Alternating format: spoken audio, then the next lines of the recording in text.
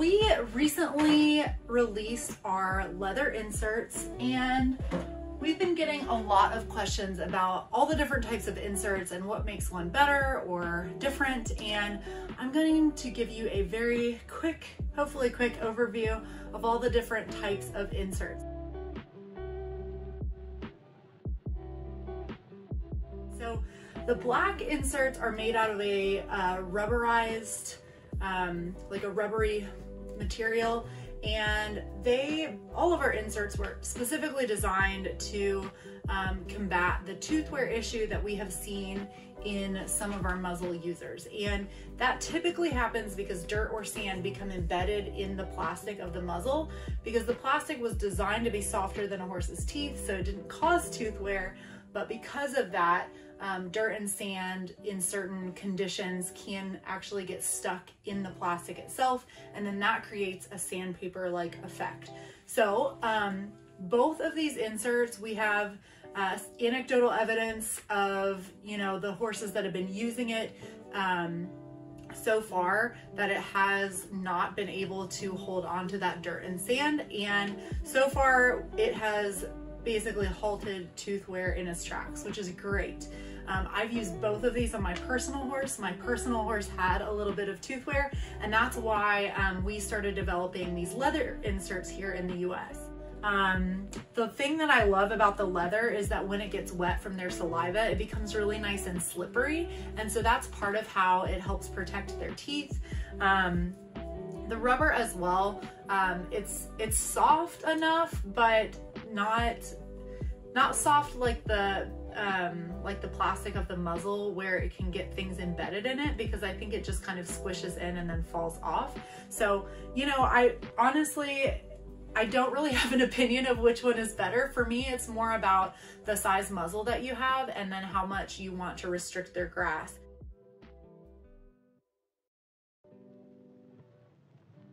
The rubber insert is made in Germany and those are available through your local um, dealer. Um, if you're outside of the US and your dealer does not carry these, these are available worldwide um, through our US website. So hopefully that clears some of that up. So basically, the rubber insert comes in pony size and horse size, and the leather comes in mini and horse size. So when choosing an insert, the size muzzle that you have might be the first thing that you look at.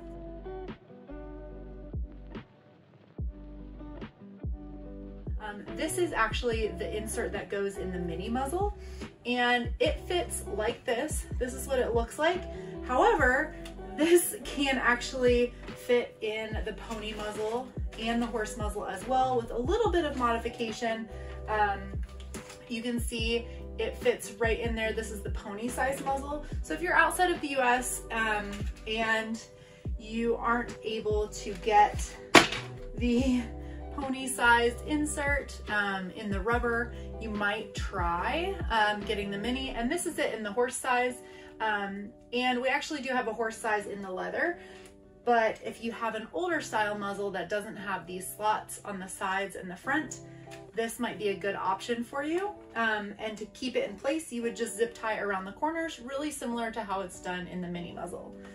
So this is the horse size muzzle in the leather insert. And it has these little tabs um, and it zip ties right in and fits really nicely. Um, it's pretty easy to install.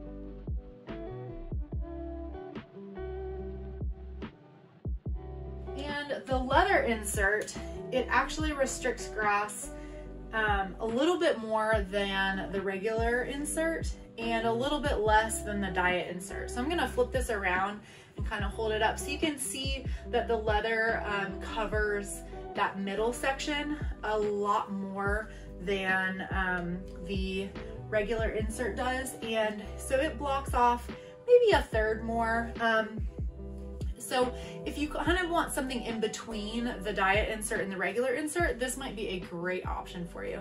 Um, and that holds true with the mini. I'll hold show that. I, I kind of got it off center when I installed this one, but you can see that it restricts a little bit more, especially right there in the center, which is where they tend to graze the most. So that's kind of the overview of our insert. So next, the rubber inserts come in two different types. Um, so there's the diet insert, which restricts grass about 50% more than the muzzle as is. And then we actually have the regular insert. And this is the exact same footprint as the muzzle itself. So it doesn't make the holes any bigger or any smaller. It's exactly as is. And this one is more for if you're wanting to protect your horse's teeth or um, we've actually kind of an added bonus of these is it actually protects your muzzle as well. So some horses can create little tooth marks and bites um, marks on the bottom of their muzzle, again, because it's created to be a little softer than their teeth. And these inserts will protect the bottom of your grazing muzzle from getting chewed up or chewed through. Um, and it can actually prolong the life of your grazing muzzle, which is a really cool side effect that we're very excited about. Um, so your two options with the pony or horse size rubber inserts are your diet and your regular. The one thing I will say with the diet insert is because it is so aggressive, um, so much more aggressively small than the holes as is, I recommend making sure that your horse can graze in the muzzle as it is before putting this in. And then also make sure you observe them, make sure they can still get some grass um, because most horses, unless there's some medical issue, need to still be able to get some grass through their muzzle. Um, we don't want them to just shut down and pout in a corner and then find themselves with some type of digestive issue because they've you know, been starved for a couple hours. So definitely observe them and make sure that they can graze through this. And the other thing to note is that when you add the insert, um, the diet insert in particular is quite a bit thicker um, than the other ones are a little bit narrower, but it does give your horse another quarter of an inch almost away from the grass. So if where they're grazing is only super short stubbly grass, they might have an extra challenging time getting grass up through the muzzle. And so that's something to take into consideration when deciding um, whether or not it's time to use an insert or which insert to use. You want to make sure that they are able to get some grass. Um, but that's also part of the reason I really love these is it keeps them from getting the super short, really tender stems, which tend to be the most sugary. Um, and it only allows them to be able to get some of the more mature grass, which is usually better for them anyway.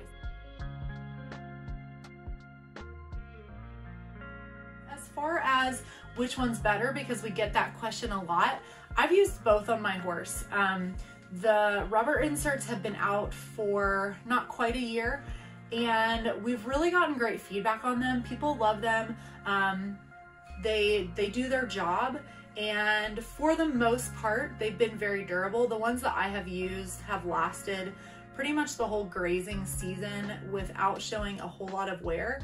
Every horse is a little different. Some horses are super chewers and you know we we do have some testers that have been helping us test that have been more aggressive grazers that will actually chew through a muzzle within a month. And those horses are, um, the inserts aren't lasting as long for them, but they are protecting their muzzle that they have. So that's really helpful. Um, for my horses, I feel like the rubber insert was a little more durable than the leather, but on one of our super chewers, um, the leather actually lasted longer than the rubber. So Honestly, it kind of depends on the horse. Um, some horses have had a little bit of an aversion to the smell of the rubber, um, but they get used to it pretty quickly, so that hasn't really been too big of a deal.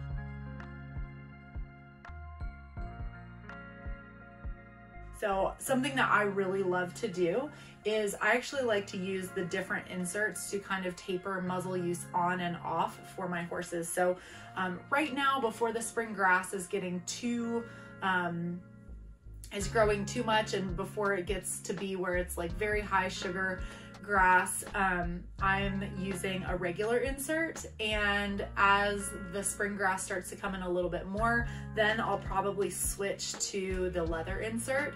And then when um, it gets here in Kentucky, usually like end of April, um, May is when the grass is really rich and really full and that's when my young horse just kind of blows up like a tick. So that's when I would employ the diet insert and then I usually leave that on him until um, I notice that he starts to maintain or even drop weight and then I would kind of go back down the line. But you can use these um, you know, to taper on and off use of your muzzle in any way that you need to, I do recommend consulting with a vet or a nutritionist to make sure that you're doing it in a way that's safe and healthy for your horse.